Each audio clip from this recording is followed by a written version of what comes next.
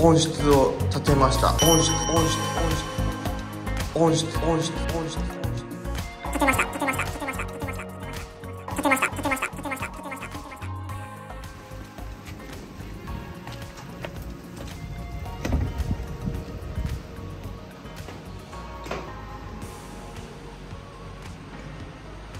たはいどうもこんにちは古木です今ね朝なんですけど今日すっごい雨降っててただですねこの空間すごいっすよ。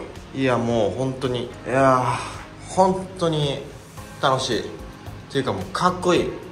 やばい。もうね今言葉にできないんですけどもうわちょっとね撮影する気もなかったんですがマイクも用意してなくてごめんなさい。ちょっと聞き取りづらいかもしれないし朝の鼻声なんですけども音質がねついにできました。ちょっとまだね電気工事入ってないんで今は急遽ねこのポータブル電源でやばい。あと13%しかない。風回してるんですけどうわ暖房もついたんかな今日は。まあいいや。はい。今あちらに奥に見えますのが旧音質私が DIY した音質なんですけどもその横に実は最近ね約2.8坪の音質を立てました。あ2.8だったっけな。はい。今回は東和物産株式会社さんの日だまり音質をね特別に依頼特別というか普通に依頼をしてうわ立てていただきました。うわでね今日はなんか植物を入れて初日なんですけども雨がめっちゃ降ってていや朗らかな日に撮れなかったなって思ったんですけどまあでもちょっとこの今ね音質立ったような興奮の初日なんで立って植物入れたような興奮の初日ですね。この状況をねちょっと記録しておこうかなと思ったので動画開始しました。うーん。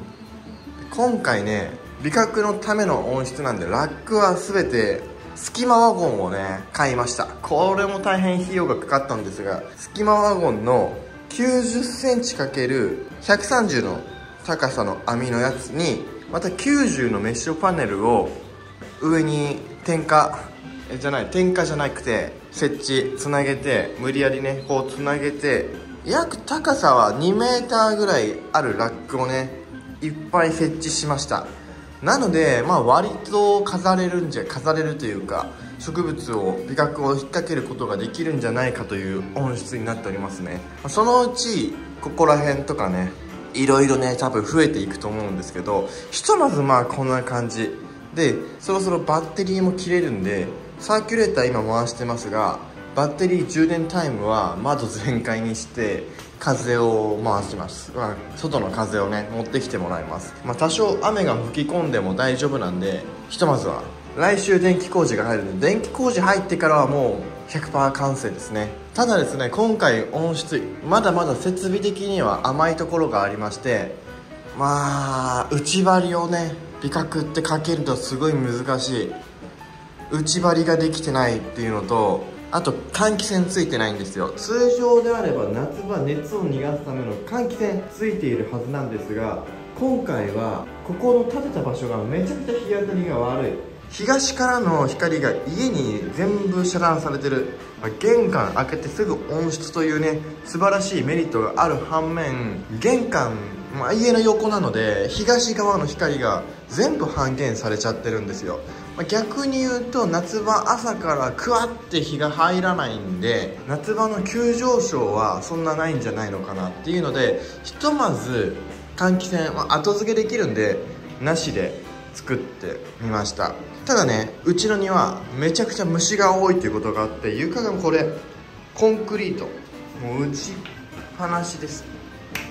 これねここにね多分人工芝とかそういうのを敷かないともう。夏場やばいことになると思うんですよ温度が。でここは水抜きの薄いマスがついています。室内なのに温室内なのに薄いマスがついています。これはね絶対ないといけないと思ったんで薄いマスをつけました。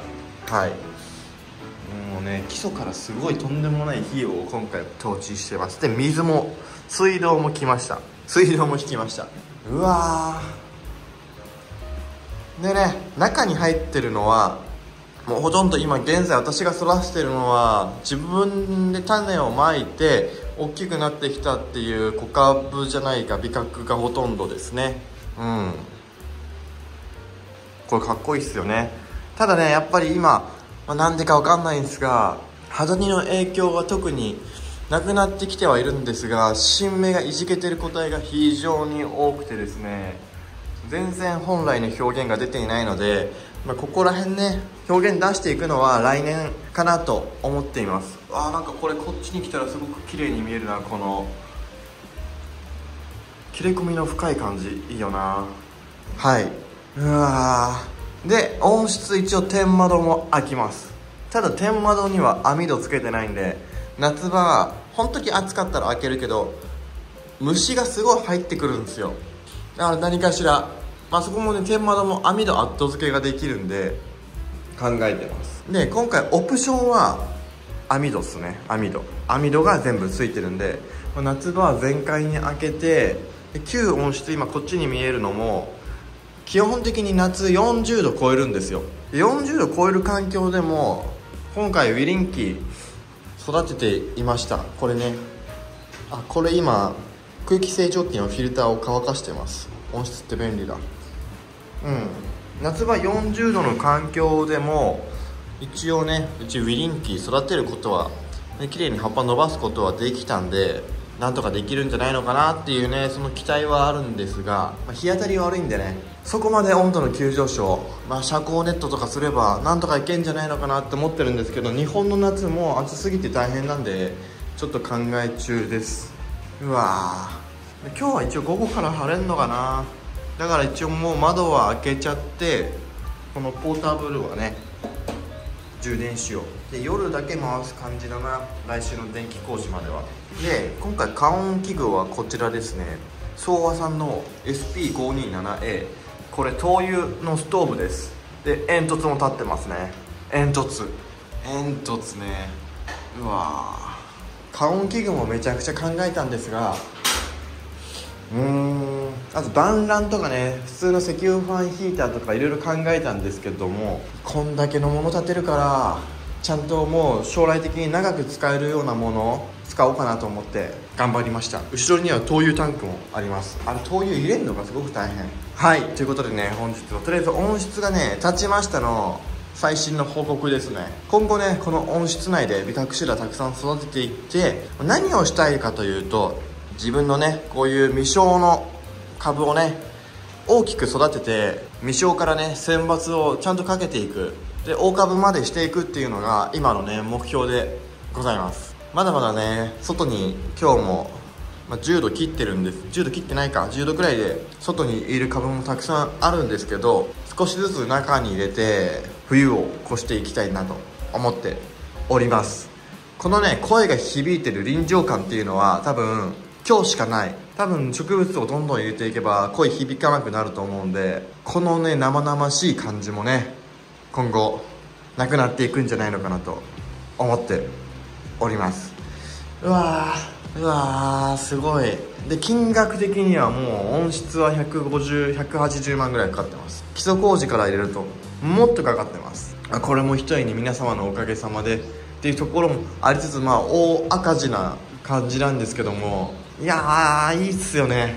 いいっすね。いやー植物をね育て始めて10年ぐらい経ちましたがうわー。比較的には8年ぐらい経ちますね。うわー。皆様に応援いただきこのインドアホビーズを最初から見ていただいている方はうわついにやったかお前やらかしたなみたいな感じになってると思うんですけどもやっちゃいましたね。というところです。いつも応援いただきありがとうございます。今後はもっと楽しくねこの音質でわちゃわちゃしていきたいと思っておりますので今後ともどうぞよろしくお願いします。では本日もご視聴いただきありがとうございました。また晴れた日にこの音質もね改めて撮っていきたいなと思っておりますのでどうぞよろしくお願いいたします。では